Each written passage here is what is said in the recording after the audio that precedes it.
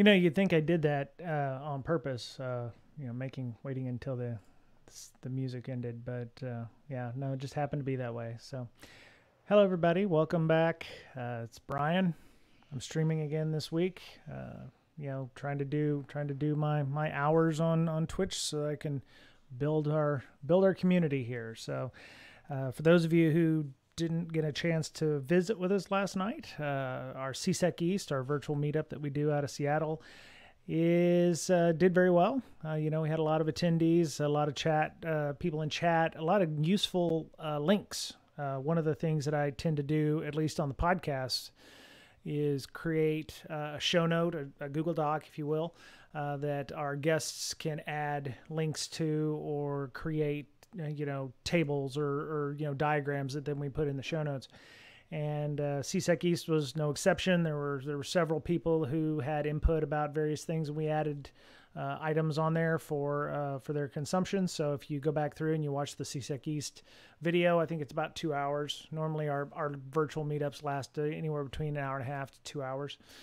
And, uh, you know, we were helping a couple of folks who are trying to get into the InfoSec community. Uh, you know, they are currently between jobs, uh, but they're looking to upskill and, you know, doing things like trying to set up a SIEM, which is a, uh, for, for those of you who are not in the know, a SIEM is a, uh, a mechanism by which enterprises connect and uh, store logs and you can make queries on those logs and you know do things so it's uh, information and event manager so you'll take um, you know workstations in your environment windows linux whatever uh, you know take those logs on the system pass them across the network to the SIEM. they get ingested um, usually, the logs are in somewhat of a um, not unified format. So the SIEMs also do normalization, where they, you know, break down the the, the logs into a, a useful format, so that you can.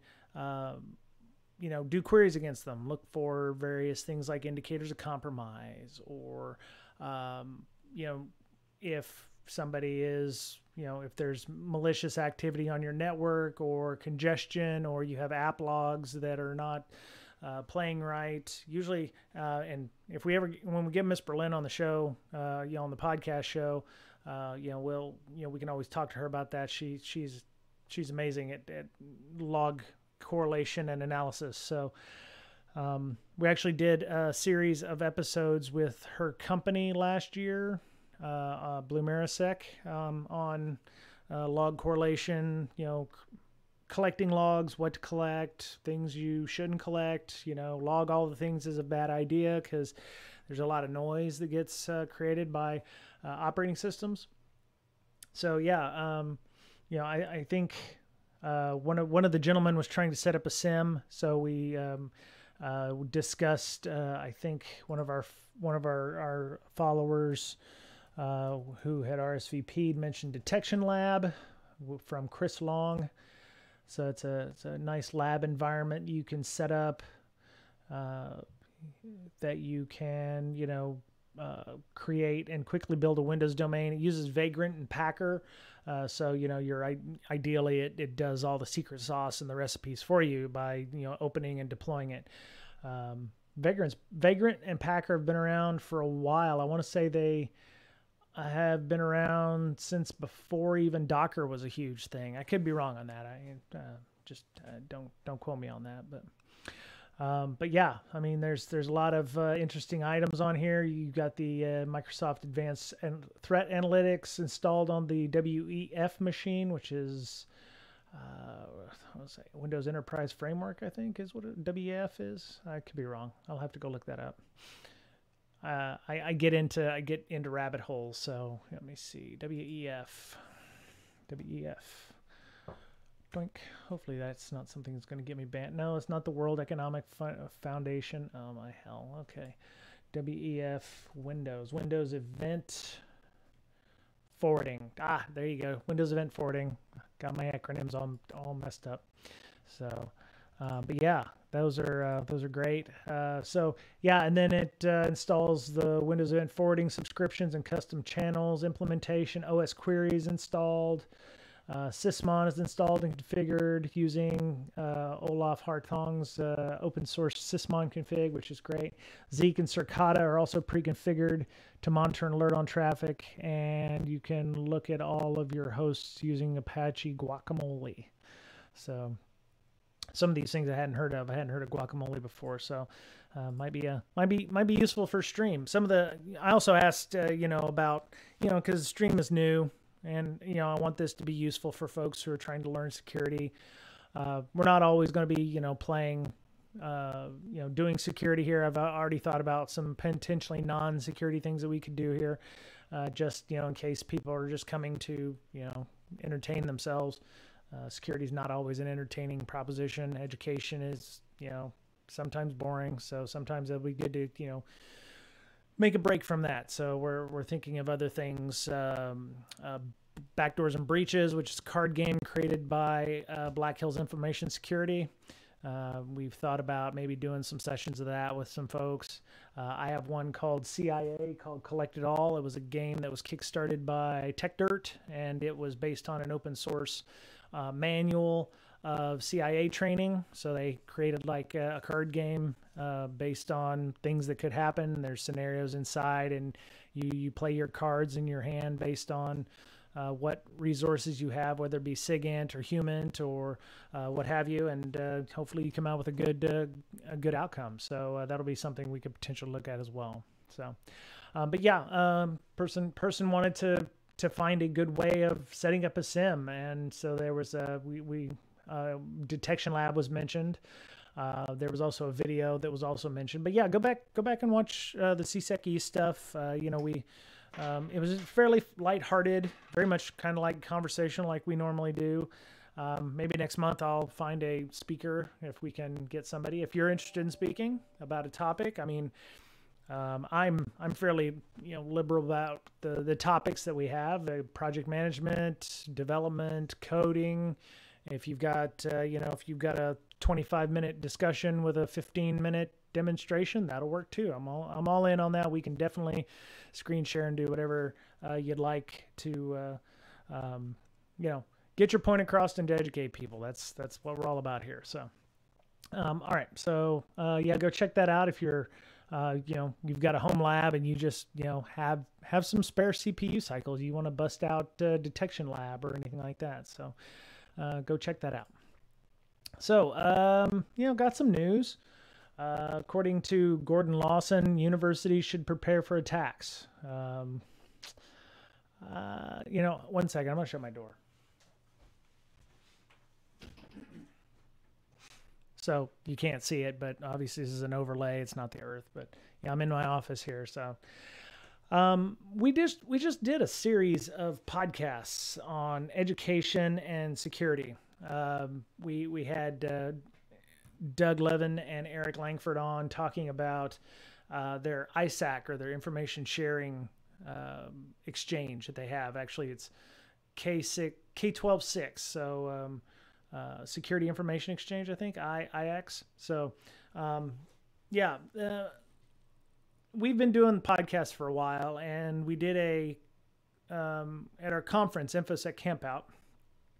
We had a speaker by the name of April Mardock, and April is the CISO of Seattle Public Schools, which it's, it's kind of a huge deal. Um, you know, uh, considering you know the the, the environment that uh, you know education and, and folks work in. And you know we got to talking and you know, one of the things that uh, that that I found out because uh, I was I was interested in all the stories about ransomware of uh, high schools and elementary schools and, and school districts and, and what have you. And um, you know she she told me some very stunning things. And and not not about Seattle public schools but just education in general you know um, I've mentioned once or twice that I did audits for hospitals. And, you know, in the six months that I was doing those audits, I learned a lot about how hospitals, um, I wouldn't say kowtow to certain certain groups of people in in the in the organization, but um, you know, when a when a doctor at a small hospital system wants to use their iPod or their iTablets or, or their iDevices or you know, a, you know, this electronic device because it's cool uh, hospitals tend to give them that kind of deference. Uh, and because it's hard enough to find doctors who will work at smaller hospital systems.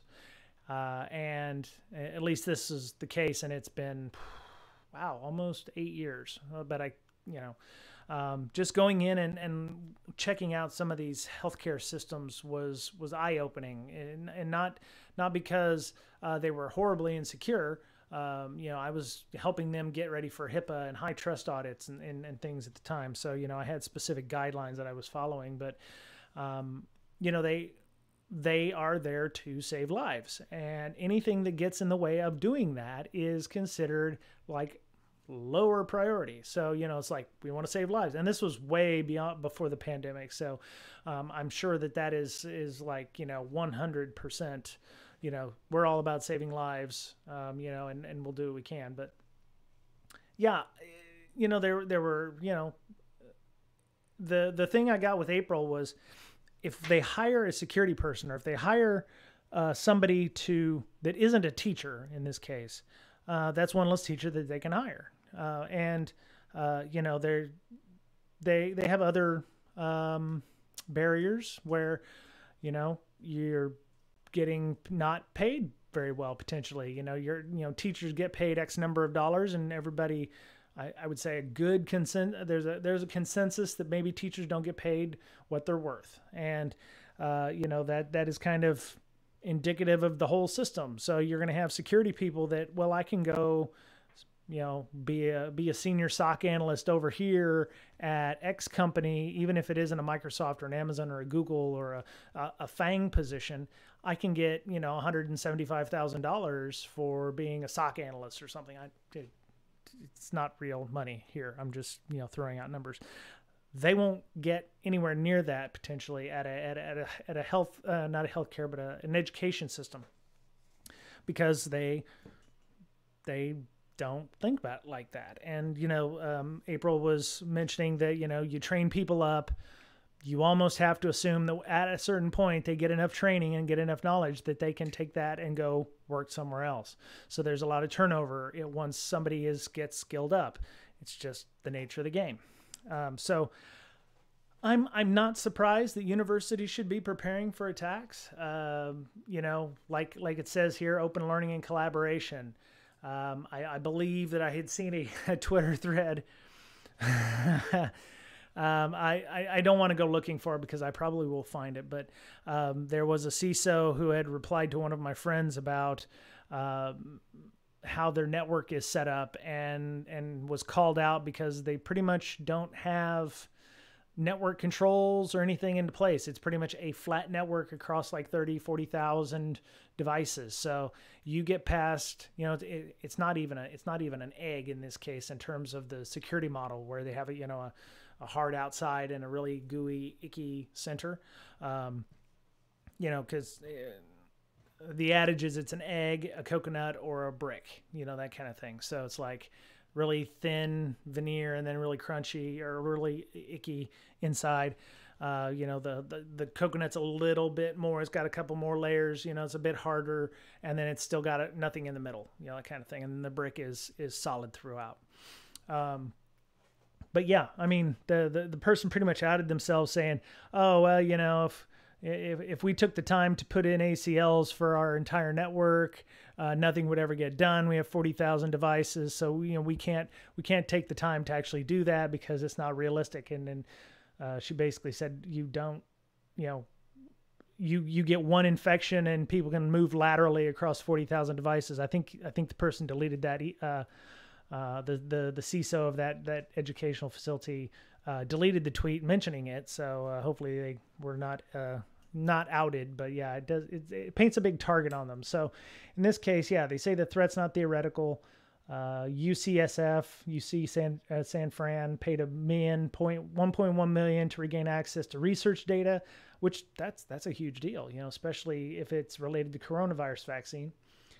Um, Emma, no, not MIT, University of Massachusetts at Lowell, Lowell, Lowell, Lowell Shut down totally for almost a week. Oh, let's go read that one. That sounds interesting.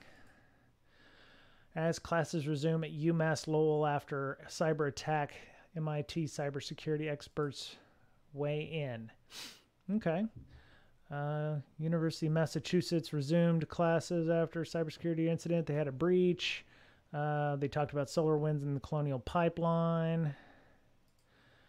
And MIT Sloan School of Management. Uh, so all they all they just said was there was a breach or something. So okay, interesting.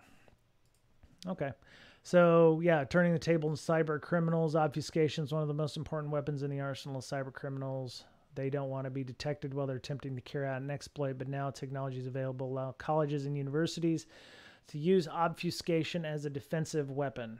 By anonymizing activities and assets, they can protect people, data, and applications from cyber threats at the network level by making themselves invisible. I don't have a problem with security by obscurity. As a matter of fact, we did uh, a whole show on security through obscurity or by uh, by obscurity, uh, where you know we talked about things like you know running your web servers on odd ports or you know changing services you've got exposed to the internet on on on different ports it's not going to stop an attacker. Uh, obscure, you know, being, being obscure about something is not going to stop an attacker. Um, it will make things, I wouldn't say more difficult, but you know, it's security through obscurity should not be your only control. Uh, there, there can be other things going on. I mean, you can, you know, you could, you know, run your web server on port 445 and run a honeypot on port 443 if there's a vulnerability out there. So you know, people scanning the web will see port 443 because that's what people will scan for because that's the, the TLS or uh, HTTPS uh, port de jour for uh, web servers normally. Uh, they'll find that they'll find a nice juicy what looks like a web server that's not patched and they'd be less likely to go well let's go and scan the rest of the ip address range or um, you know hey what else is on this you know and they'll find uh, 443 and they'll attempt to you know poke around on it and then give you an early warning system uh, potentially to say oh somebody's attacking web server. They're using this attack. Yeah we knew about this assuming you're involved in threat intelligence. And uh, you know uh, uh, prepare your port 445 uh, specifically. I don't think you want to run port 445 that one sounds vaguely familiar. Let me go and double check. Port Yeah, GRC, Shields up. Yeah, Microsoft Directory. Okay, I, I yeah, I got that. I got that dorked. Okay, so yeah, you wouldn't want to run port. actually, port 445 would actually be worse. So don't don't listen to me. Uh, in, in that respect, you you might move it to to a less popular port, or you might run it on 32,000. You know. Uh, 405 or something like that. Um, you know, you might you might put it in a in a higher port so that you know you can uh, maybe catch the warnings of of you know somebody scanning for 43 or 80 or 8080 or 8088 or whatever. Um, you can do that for anything. So if you have you know SSH running, you know you wouldn't run it on port 22. Uh, you know, a mature IT environment may run an SSH honeypot there and put your, you know, your SSH port on like 1022 or something like that. Or uh, no, you need 1024, so it'd still be a restricted port. So you'd want to put it on like 8022 or something like that. Uh, let me see. what are they asking for for obscurity? When individuals engage in simplest online activity, leave a footprint that includes your IP address and network identity. Okay, that's fair. The, this information can form the basis for an attack. Obfuscation at the network layer eliminates these footprints and makes hacking practices such as tracking cookies, browser fingerprinting, and device characterization virtually impossible. Okay, I guess so. Um, yeah, software-defined networking. That's it. That's an interesting concept. We we've done a few shows on SDN virtualization. Um, yeah, opening ports, using code to open ports on uh, on your your system, kind of like a UPnP or something. But yeah, um, data protection academic institutions at the forefront of cybersecurity research need to perform their work in isolated environments and mitigate the risk of data theft and ransomware. I would argue that if your security research is so important that you need to be in an isolated environment, your network should also be isolated as well. And, you know, do proper data handling like encryption and uh, you know, backups, and you know, don't let somebody walk in with a Britney Spears CD and you know, pull data off of your SCIF and then walk out with it. Uh, secure communications. There you go. I, global I, collaboration is central to many academic research projects, and maintaining privacy is a high priority. Know who you're talking to. You know, find find throwaway VMs. Okay.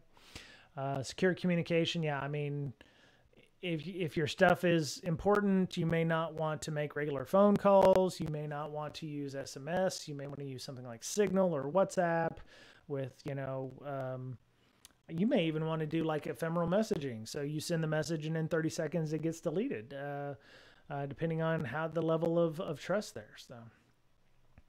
Um, throwaway VMs means uh, okay burner V okay burner VMs yeah I've seen that I've seen that quite a bit where uh, you use them and you throw them away. Um, uh, that's that's not difficult. I mean you can clone a VM start it up do whatever it is you need to do and, and quit. Um, a, a, lightweight VM like a like a Linux based VM if all you're needing to do is do some light web surfing or something is always helpful to do that. You can uh, you know, do that with uh, VirtualBox or uh, VMware or Parallels, or uh, you could even do it in a Linux container, I guess, if you wanted to, or a Docker instance if you wanted to build a Docker VM that would just boot up with a with a web server, uh, web web browser. So yeah, you could do that. Avoiding the arms race. There's currently what amounts to an arms race between cyber criminals and their victims. Okay, yeah, that that's that's pretty much correct. Um, yeah, I had a different version of what obfuscation is. I mean, obfuscation would be like using codes or something like that. But I mean, yeah, I mean he he's he's correct. The thing is, he see yes, his he's the CEO of a company that specializes in network privacy, non-attribution, and obfuscation for enterprises worldwide. So it's one thing you have to remember about these news articles. Uh, the only thing he didn't do in the last paragraph was let you know, let NetAbstraction tell you about how you can be better off at net, network obfuscation. So, I mean, some of these are thinly veiled, you know, discussions uh, that just turn out to be ads. So it's just something to think about when you're you're reading some of these news articles on these websites. Let me see what else did I have put up here. Oh yeah, this one this one makes me kind of icky because uh, I've I've been in a hospital, not myself as a patient, but as somebody who's seen a lot of hospital uh, work. So uh, Palo Alto has collected data from medical fusion pumps. Mm, ooh, man, goodness. Uh, used to administer medicines and fluids. So I, I, we're talking like IV pumps or, or what have you. Uh, research revealed tens of thousands of devices are vulnerable to six critical security flaws that are 9.8 out of 10 reported in 2019 2020 leaving them open to attack. So that's that's quite interesting. Let me go let's go see let's go read and see if the report is available. Okay well here's a bleeping uh, okay so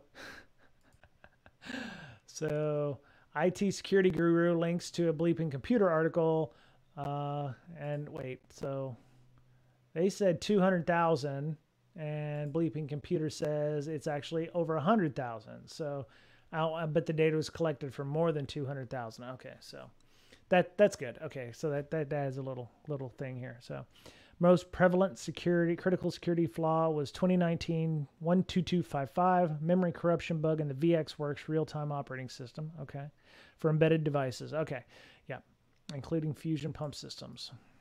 Let's go see what that one says.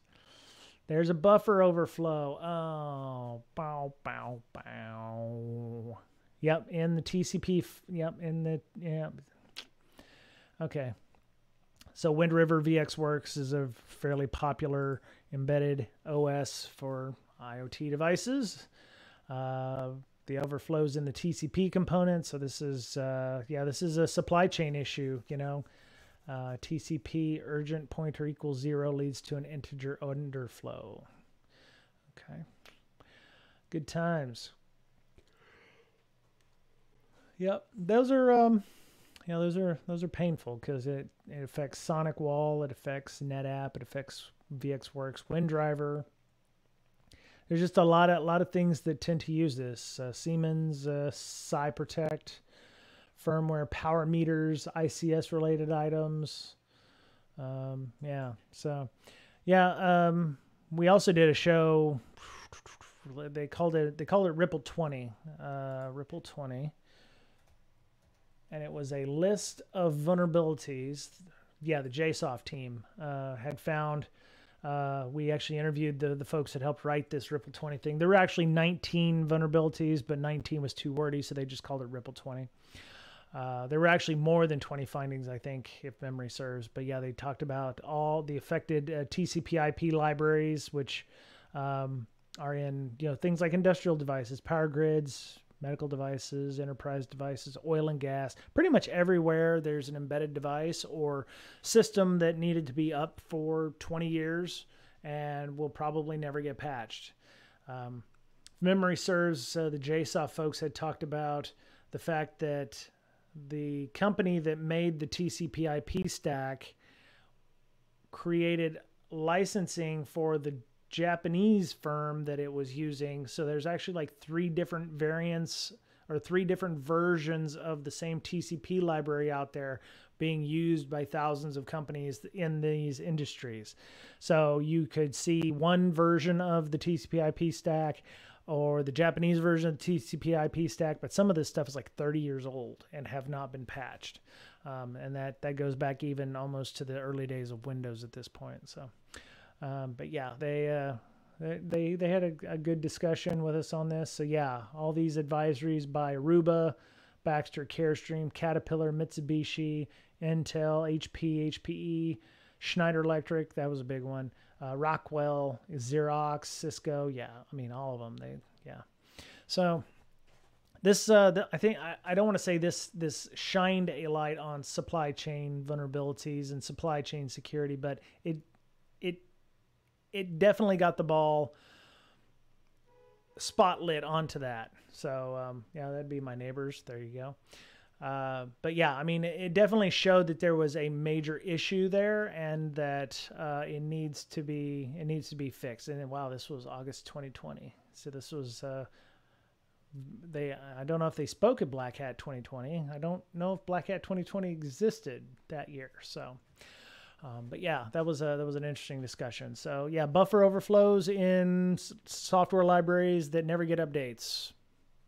Always solid for vulnerabilities and rife rife with issues that will probably never get fixed because who's gonna who's going to notify the company? I think that's we, we asked that question. It was like, how did you get a hold of the company to let them know there were vulnerabilities? And it was like, um, there w- it was very hard to just track all the way back to the, the various places uh, and, and to get to the actual manufacturer who created the library. And, and in many cases, they're no longer supporting that library. So there's no good way to update that. Um, it's, it's pretty much into life, into service. So, anywho. All right. So here are the lists in the Baxter products. Uh, Baxter International. Okay, so it's just the Baxter um, so if you're in a hospital right now watching this stream and you have an IV pump or an infusion pump sitting next to you and it says Baxter on it, you're probably, uh, you know, th- these are waiting. These are sitting on a hospital network, by the way, uh, which, as I told you before, you know, you know security. Uh, all five of these have a, a 9.8 rating on them, which are uber critical. So uh, it goes out of 10. So you know, we're we're edging up against that uh, that let's see, what is it? Baxter Spectrum WBM when used with a Spectrum VA. Okay, so there's, okay, yeah, factory default wireless configuration enables FTP service with hard coded credentials. Oh, gods, look at that. There we are. By the way, FTP is, for those of you who are, you know, new to security, FTP was a file transfer protocol. That's what FTP stands for, uh, which has been around since how does Obi Wan say that? FTP's been around since long before you were born or something like that. It's that's going on about 40 45 years. I mean, I'm only 42 and I think FTP's been around for a long time. Um, it got better. There there's less I would say FTP is still around, but it's not nearly as ubiquitous as it used to be. Um, you know, a lot of lot of organizations are now using, uh, you know, if they're using FTP, it's over an SSL or TLS connection, uh, or they've moved on to you know something like a, a, a Google Drive or something like that. But I mean, it's still around in some places, but it's it's completely unencrypted. So the hard coded credentials once you've gotten that, you have complete FTP access to the box. And the fact that it's hard coded means that I doubt they can easily fix that uh, or change the, the, the, the, credentials that are inside there. Um, a lot of times you end up with test credentials that have been left in uh, or they weren't scrubbed properly when the, uh, the software was uh, sent out. So, yeah. Um, so, any of our any of our listeners, any of our streamers, uh, users here have any questions about uh, you know any of the stories here? I, I keep talking, but you know, kind of expect folks to you know come in and ask questions. Uh, you know, anything that interests you, anything that bothers you about the uh, the security on these things.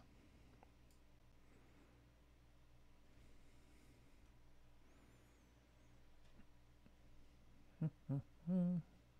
Any questions about buffer underruns or integer underruns or buffer overflows?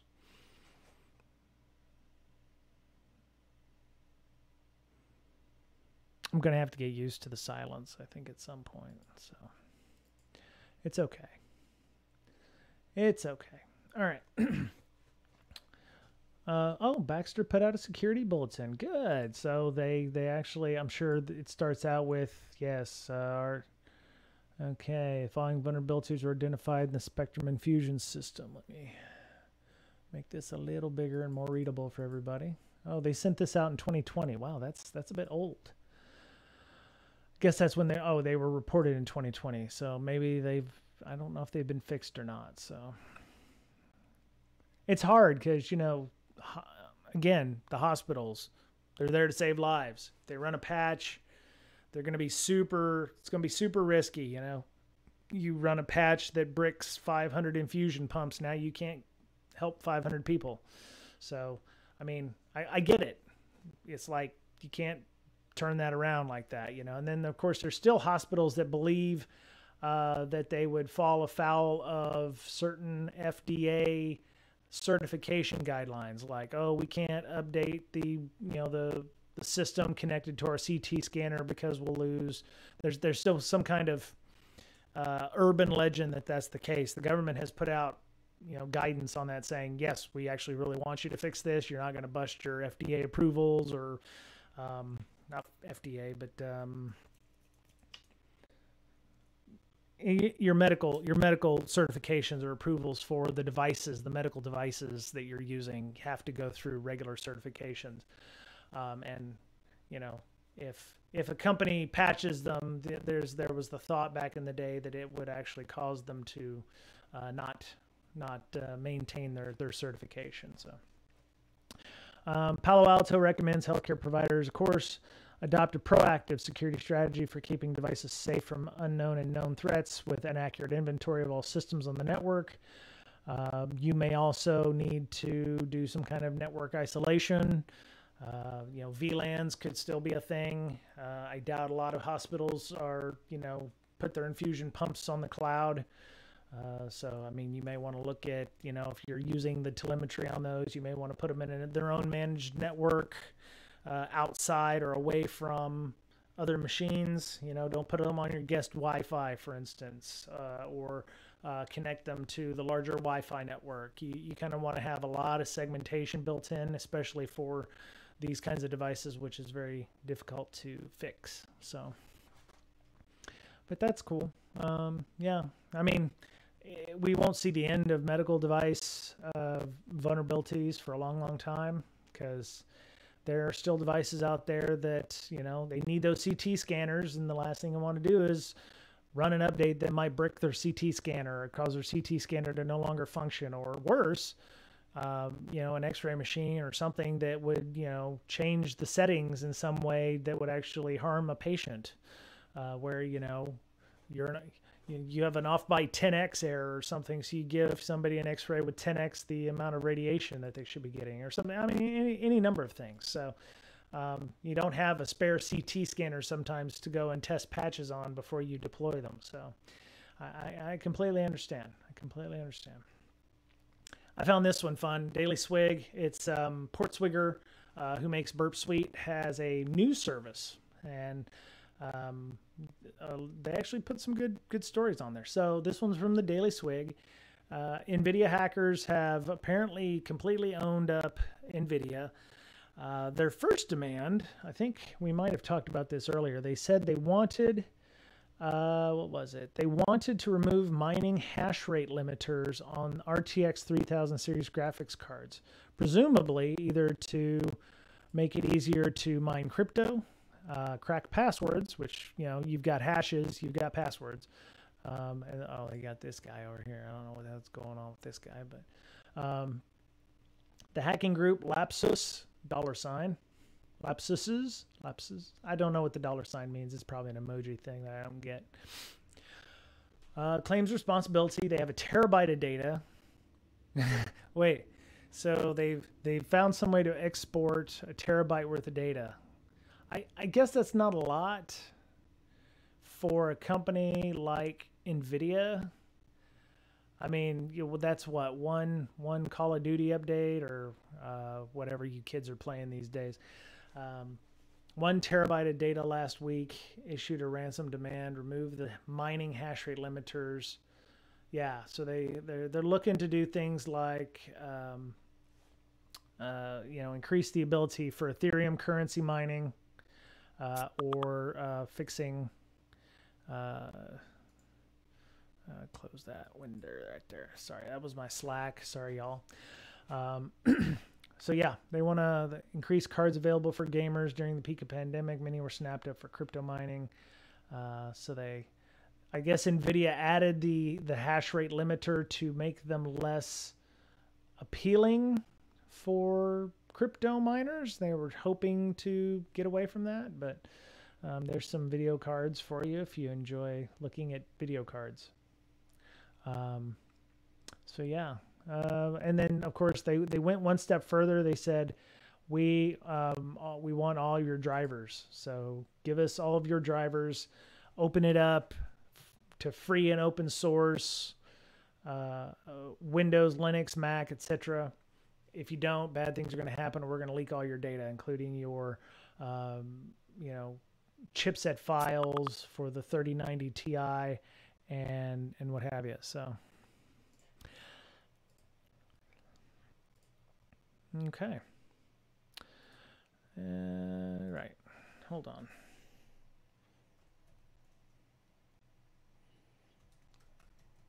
I'm talking to a friend of mine um, that I had actually suggested uh, apply for a position, and she's she's asking me people want to get into infosec, but I was like, education doesn't peel, you know, isn't isn't all that exciting to people who are Twitch streaming. So, or who who who want to watch Twitch streams. So, you know, trying to figure out what kind of carrot will get people to come and listen and, and to the to the show would be great.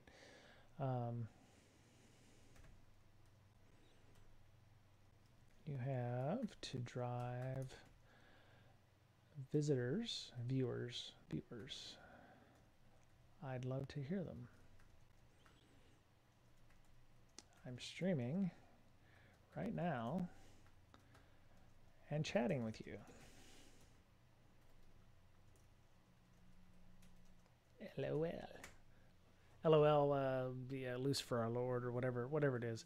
Anyway, so um, yeah, they want a completely open source and uh, under a FOSS license for uh, you know their their GPU drivers. And the problem with that is um, I, I, you know, it's great. It would be nice to have. I could definitely see that being a thing. Um, there are open source NVIDIA drivers. Uh, as somebody who has used um, OpenBSD, which is a, a, it's a Unix operating system that's been around for I don't know 30 years. Uh, they created a completely clean room implementation of what's called the Nouveau driver. I believe they implemented it. Um, the the idea was, you know, back in the day, uh, OpenBSD did not like things called blobs, which are binary level operating bits. Uh, basically, it's an EX, DLL or an EXE file that is created for um, you know Linux that you can run the device drivers for. And uh, NVIDIA did not have a good driver. They had one, but it was pretty much you download the driver, you import it in as a kernel driver or something, you run it, but you can't do anything with it. You know, you it, it runs as is, and if there's a problem, you can't troubleshoot that or debug that uh, outside of hoping that when you throw one plus one in on this side and it goes through the driver or the software or the code, you get two on the other side. Uh, the problem is you put one point plus one here, it goes through the driver and comes out as 17, and you're like, wait, wait, wait, wait, wait, wait, what, what, what, what the hell, what, the, what the hell? So they painstakingly created the Nouveau driver by just continually putting in input on one side and seeing what would come out the other side. And, um, you know, it was great. And they've had about, I would say, 10 plus years of development on it. And the, the problem that I seen, and somebody had mentioned this in our Slack channel, if they open source this, these drivers, if NVIDIA said, okay, you win, we're making you know, hand over fist money on the hardware itself. The drivers are nothing and actually would help us speed adoption. Okay, great. We'll send out an open source. You know, we'll we'll put it out there in GPL2 or you know GPL3 or whatever it is. You know, here's an open source. Here's the source code. Whatever, whatever, whatever. Um, that would wreck the other version of the the driver because you couldn't make changes to Nouveau without it, you know, cons- you know, somebody arguing the point that, well, they looked at the source over here or something like that. It would be harder for them to prove that this was a clean room implementation uh, driver Nouveau, uh, and and that would that would make it uh, more difficult. So, um, anyway, back to the story at hand. Uh, the actors have already claimed to have leaked password hashes for NVIDIA employees as well as source code and highly confidential information. Uh, the operators have also accused NVIDIA of hacking back. Ooh, okay, so that's that's a thing. Oh, here's a Twitter. Here's a. Let me see what the what did the Twitter people say here. Let's see. We have Brett Callow. Lapis claims responsibility for hack on NVIDIA. Also claims they've hacked back.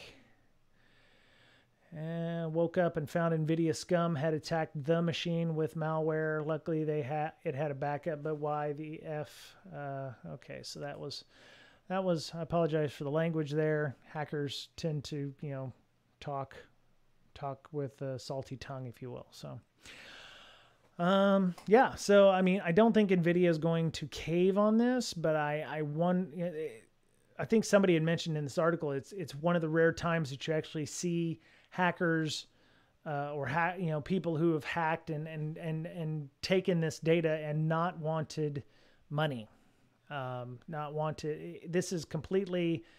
It almost sounds altruistic, but removing the hash rate limiters on the 3000 series graphics cards would make it easier to mine Ethereum, like they said, uh, or you know, do, do things like potentially ha- uh, crack passwords, etc. So, uh, what do we got going on over here? Did I get the answer to the question? Yeah. Okay. Yeah. I have a late meeting with uh, non-U.S. entities in about 30 minutes, so I just wanted to make sure that everybody was available. Okay. All right. So yeah, um, if you have a 3060, you know this may be something you're interested in, especially if you're keeping yourself warm on this uh, nice. You know, you live up in the Northeast where it's you know 20 degrees and you're inside your house and you're trying to keep your house warm. You know, and you're mining Bitcoin or Ethereum. So yeah, since yeah, see they introduced the limiters after the launch of the 3060, which was the first to introduce a limiter, although it was circumvented with a leaked driver. Since then, though, third-party 3000 series cards have had hard, hard. It looks like hard lock mining performance. Okay, yeah. So I mean, um, they can't get around. They can't get around the controls anymore. So they've taken to you know ransomware you know, ransoming or, or blackmailing them for that. So there you go.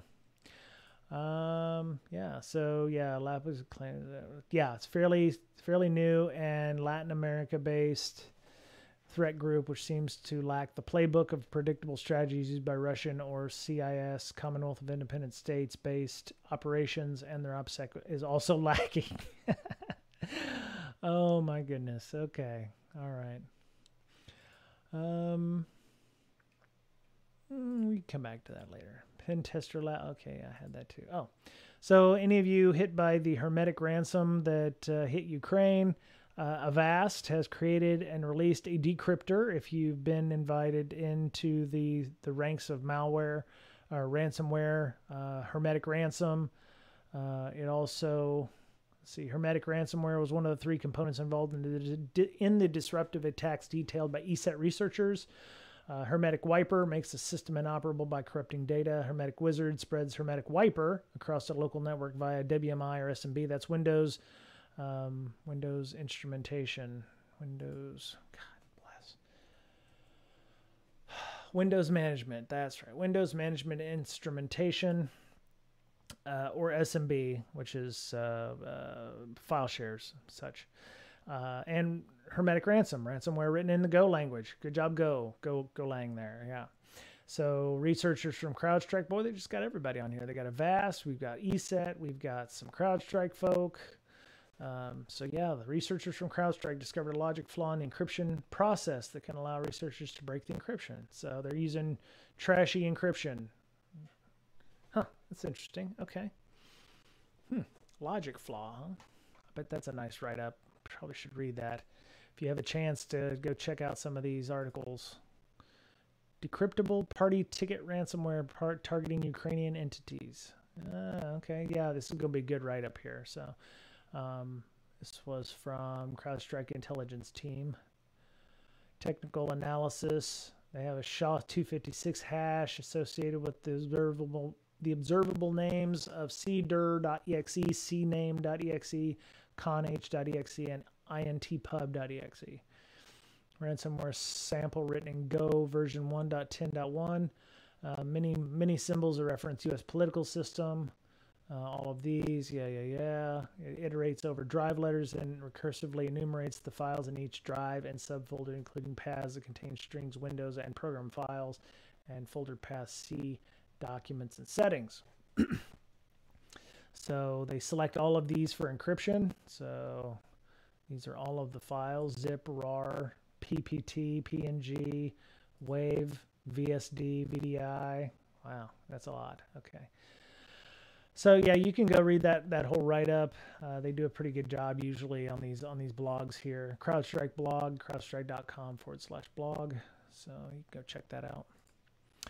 And so yeah, they if you if your company was hit by that or um, uh, you know might want to might want to go check and see if Avast can can hook you up. I mean, uh, yeah, it doesn't doesn't they have detailed instructions to recover your data if you have been hit by that. It's sad, you know. So yeah, download the Avast decryptor. There it is. So avast.io. Okay, let me. Uh, I'll put that in the chat window just you know so folks who need it can get it. There we go. Yeah, final page, backup encrypted files. You can opt into whether you want to back up the encrypted files. These backups may help if anything goes wrong during the decryption process. That's that's a good idea. Um, yeah, so there you go. Hmm. Okay. Oh wait, that was that was one of the ones that there we go.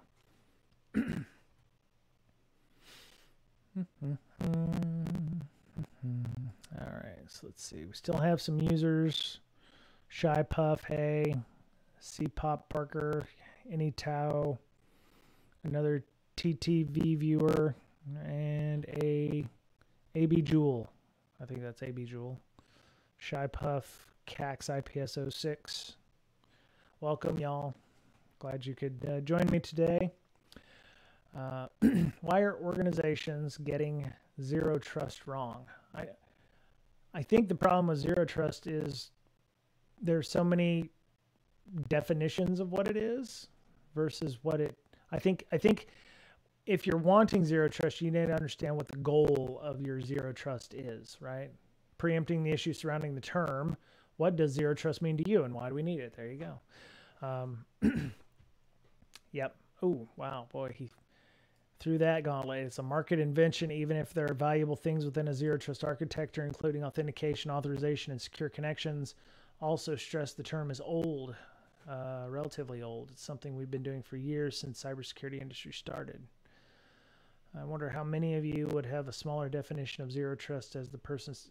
How many of you would have a similar definition of the term zero trust for the person sitting next to you? I agree with Mark that zero trust has become a buzzword. For me, you know, for me, zero trust is I don't want to have to use a VPN, but I still want to be able to do everything it is I need to do to work. So, um, you know, I, how many of you can start up your work computer, log in to your computer and access everything you need at work without having a VPN or being physically at a office space to do so and do it in a secure manner whether it be oh we use duo push or whatever for me that's that's not zero trust but it's again i don't know what i don't know what the, the goal of zero trust is. Is it you know you're completely untrusted and you know you have to prove you are who you say you are uh, or you know for me uh, i can access everything i need except for the ticketing system that we use uh, remotely. And I, I believe that there are plans in the works to make that possible because you know the big thing is most of the time you need a vpn which requires you to uh, stand up a VPN server or a cluster of VPN servers so that people can get in, or jump boxes to be able to get in through network isolation. Uh, you know, if there's a Bastion host or something like that. I mean, there's uh, things that you have to do to go in and and, and authenticate. And um, you know, I think the idea behind zero trust is to reduce uh, the number of steps needed to do something. Um, uh, yeah, I don't think I don't think they should call it zero trust. I think there's, uh, I think you can call it zero. I think you can do what you want without calling it zero trust. I think it's just some kind of VPNless setup or um, being able to access resources in a responsible manner with authentic- authentication and authorization, just like the uh, the person said. So, um, you know, if if I am who I am and I can prove who I am through a token or some kind of authentication push, uh, you know, and you know I'm supposed to be in this company and I'm supposed to be there and I can authorize it and it's done over a TLS connection. Let me in, you know. So there you go. Um. Oh yeah, the uh, White House uh, um, uh, President Biden's uh, has a an executive order that was made uh, May of last year about implementing certain things. I think we talked about that in our. I want to say we talked about that in our mid 2021 uh, area when that came out because they had like 18 months to get zero trust set up in the U.S. government, and I was like, oh my god, that's never going to happen. Um, trying to get that pushed out in in, an, in a responsible way. It's it's gonna feel like the PKI stuff that I had to deal with back in 2003 when the U.S. Navy you know brought in NMCI, the Navy Marine Corps Intranet, and one of the things they did was one of the most massive pushouts of PKI. Now, keep in mind, this was before um, you know O365 before the rise of Amazon Web Services and you know cloud-based items. Uh, you know they were still using data centers and and and pushing things out that way. So I mean today, I mean shoot, government stand up an O365 and then you're done. I mean that's that's that's how that would work. I mean it would be an undertaking to migrate people over to to my O365, but I think the ability to you know roll these things out without having to you know have people go and take their ID cards and get them changed in for a, a common access card or something like that would be uh, way better. So, uh, just uh, is anything else of note here? Let's see. As Lander drew attention to zero trust migration being a multi-year journey journey. People are looking for a single button, and uh, and I now have zero trust. Instead, we have to think what zero trust means for the entire org, and the benefits, and build a multi-year plan to move to a zero trust model. I think I think that's just me, uh, my thoughts uh, as we had the disclaimer. Uh, thoughts and opinions are not uh, of the host's past, present, or future employers in this case. I, I think a good majority of companies, if they could figure out who their most, I wouldn't say difficult, but most complex users are, could set those people aside if they're trying to set up something like Zero Trust.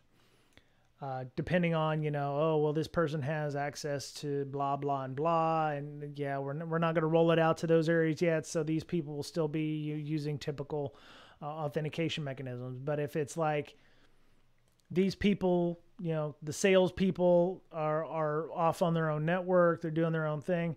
We can roll it out to them or the business development people or you know i'm of the opinion that some of the salespeople may not even or shouldn't need official company emails because it sets them up for potential uh, you know phishing attacks or what have you you know setting them up with something that is off the the the exchange domain or your o365 domain uh, and isolated. And so when they get a, you know, an email, hey, you know, I want to buy a hundred thousand of your widgets, please click here. And they click on it and they own themselves up and then they start owning the rest of the domain. They're not going to take down the whole company with you. Uh, you know, you're, you've isolated them or their, their environment uh, and, and, and keeping them, keeping them safe. So uh, just, you know, it's important to think about that. But I think a good majority of people who work at companies, could be switched over fairly easily. There's always those outliers that you would have to um, work to to make those um, better. So, um, and you know, you would have to work to, you know, maybe maybe the people who are the most complicated to get into a, uh, a zero trust kind of implementation. Maybe you need to review their permissions and see if they actually need access to those things anymore, or if they can get you know get away with it elsewhere. So. Uh, the challenges we think in terms of checklists. You need to have antivirus, firewall, etc. Yet this doesn't show how these things should be implemented. That that is a fair point. I mean, um, yeah, unfortunately, something bad has to happen for orgs to realize that, for example, antivirus isn't enough. Inadequately defining architecture opponents means threats will continue to occur. Okay. This was at, what's a CCSE 22? I wonder where the heck that is cloud and cybersecurity in Excel London. Excel London. Okay. I haven't heard of this before, so but it looks like a uh, looks like a very industry. Ooh, yeah, the vendor pit just looked massive. Yeah. Interesting. Okay, so that that was going on or went on. Uh, I'm assuming this was the end, last day of it, since it says two to three March 2022. Cool. Okay well, something to think about for next year. You know, we'll get get uh, get flying back. London's lovely, I'm sure this time of year. So, all right, let me see. What else do we have? Um, okay, Avast. Um, we can go over that later. Um, okay, I think we're good. Uh, one of the last things I wanted to do uh, before we before we signed off, uh, there were some ideas that uh, came up during our CSEC East meetup about things that we could do. Uh, one of the one of the gentlemen, Donald, had mentioned tool use, and um, somebody else had also mentioned, you know, I'm going through this class. We're doing a lot of stuff in Kali Linux, but how do you know which tool to use for these things? How do you know if there's you know not a better tool to use? So some of the things we may look at in the in the coming weeks will be like specific tools you can use to to do things. Uh, you know, uh, I might spend a little time discussing certain command line tools. Um, study groups came up. Uh, somebody had mentioned, "Hey, I want to get my CISSP or I want to get that uh, Security Plus. Are there any good study groups out there?" So. Um, they they asked about the potential for study groups or book clubs or what have you. I don't have a problem with book club. I like book club. I think we could definitely do that. Uh, war games and CTFs. If uh, you know somebody wants to get on and do some hack the box uh, or VulnHub or something like that, where we can uh, you know find some find some vulnerable VMs and and hack all the things. Uh, you know we can do that. Um, the games, backdoors and breaches was mentioned. The CIA thing I mentioned, collect it all. Uh, and uh, you know maybe maybe we can get somebody like uh, Chris Long from who did the detection lab stuff we talked about earlier to come in and uh, you know maybe as a podcast or an extended podcast. Uh, um, you know, demonstrate what Detection Lab does and how you can use it in your own home environment to learn how to make a better SIEM. So there you go. All right. Well, I've got about seven minutes until my next meeting uh, for my non-U.S. Uh, uh, colleagues. So I am going to bounce off here. If uh, you have any thoughts, um, you know, please uh, please reach out uh, on our. Um, you know, we have Twitter. You can send a BrakeSec, or you can send one to me at Bryan Brake. Uh, my colleagues, my co-host colleagues are InfoSystir Amanda Berlin and BoettcherPwned Brian Boettcher. And um, you know, if you found value in this, the tip jar is is a way you can do that. We do have Patreon, which we've had for several years. Uh, you can you know send us uh, some Patreon information. Uh, you know, Patreon money. We'll we'll take it. You know, if uh, you know one, two, three dollars if you found value in this, or you just like to listen to me talk. You know, that's I appreciate you for listening to me talk. And uh, if you are looking for CPEs for your certifications, uh, the website right there, brakesec.com forward slash website, that's a bit.ly link that will take you directly to our brakeingsecurity.com website. And uh, I think we've got about 400 plus episodes. Uh, if you if you are a brand new CISSP, you only need 40 a year, so that would be if I do math right. I think some of them are roughly, I think we're roughly about a 45 minute average on the podcast. So you're looking at about, you know, 250 CPEs on average. So um, if you're looking for stuff for your, your certifications, uh, definitely check those out. And technically, this counts as a CPE as well. This is one where one hour, six minutes, 22 seconds, and we talked about all kinds of security stuff here. So watching this is one CPE. So there you go. That's something else to think about as well. And you'll have a link. Uh, these will always be available. I'm going to post them up on our YouTube channel, which also has all of the, the videos, I think, back to 2017. Uh, Libsyn was automatically outputting them to YouTube by then. Um, so yeah, once this is done, I'll output it to our, our I'll make it, you know, post to our YouTube, and then you'll have a link there if uh, you ever get audited by you know by ISC or, or, or what have you. So I, I have uh, I've used podcasts uh, to great uh, um, to great uh, you know benefit for myself. Uh, risky business is one, defensive security is another. So if you are interested in looking for audio podcasts for whatever your commute or what have you, go check those out. So. All right, I'm out. I will talk to you tomorrow, and then Saturday we're gonna we're going to do something. Uh, I believe we're going to be doing a fundraising charity event for Nova Nova Ukraine, which is a uh, uh, they're supplying uh, humanitarian relief for people uh, hit and impacted by the war in Ukraine. Uh, you can actually go and donate at novaukraine.org. you can donate via PayPal. they'll actually take your crypto, or you can do a Facebook donate. Uh, your companies may be doing matching right now, so that's something to think about. Uh, our my company is actually um, up to I think five million dollars until the end of the month. So if you have uh, you know a couple of hundred bucks, make sure you give your receipt to your company so they can also match your funds if that's a, if that's a thing. But if you have crypto and you uh, feel like you want to help out with humanitarian relief uh, eh, to help uh, people from Ukraine and as they uh, begin their diaspora. Um, you can, you know, they'll they'll donate Bitcoin, USD coin, Litecoin, Bitcoin Cash, Ethereum, Dogecoin, or Dai. I think there was a couple of more, but I think they may have gotten rid of them. I don't know. Whatever whatever coin you can pay with Coinbase. So if you have a Coinbase account, you're solid. So there you go.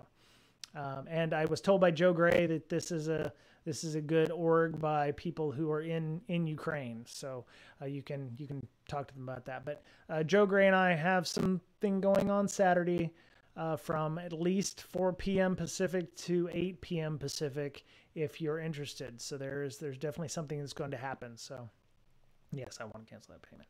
So hope uh, hope you uh, you know enjoy the rest of your day, and uh, we'll talk again soon.